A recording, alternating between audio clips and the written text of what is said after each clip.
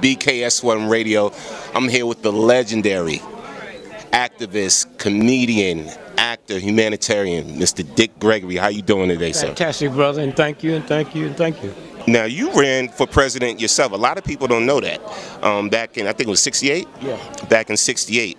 Um, from what I understand, you actually got, was that a mistake, like close to 9 million votes in, in Pennsylvania or somewhere? That was, that was, but that's how they trick elections. That was the only place I was on the ballot. That's on the right eye.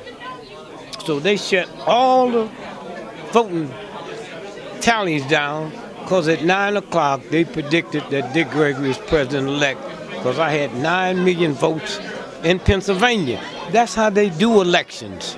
Huh?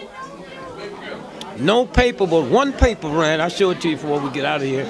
It's the Wall Street Journal. Wow. That Friday. It's a game they play, man.